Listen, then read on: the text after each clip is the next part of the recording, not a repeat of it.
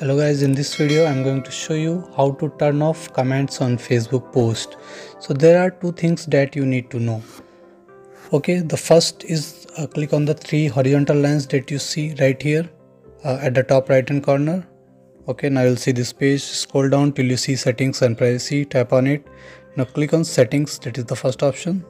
Tap on settings scroll down till you see privacy. Now under privacy so many options are there. Now one of the options that you can see is public posts.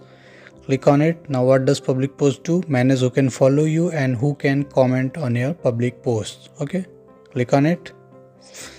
Now again scroll down till you see public post comments. Now choose who is allowed to comment on your post. So this is the setting that uh, you want to turn it off. Okay However, Facebook has not given any direct setting to completely turn it off. In the worst case scenario, your friends will still be able to comment on your post.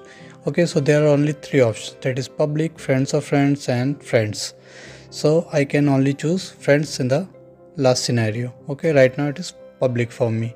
So you can go if it's public, then you can change to friends. Okay, now again uh, for public profile info uh, there are there is another option that is manage who can like or comment on your profile information that is always public. There also you can choose public friends or uh, you know friends of friends. So these are the two settings. Okay now one of the settings that i'm going to show you. The second one okay suppose this is uh, my profile right now. I am going to write a status.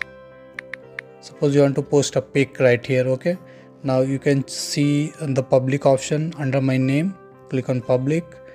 Now click on see more. Now there is a lot of options here. Public friends friends accept.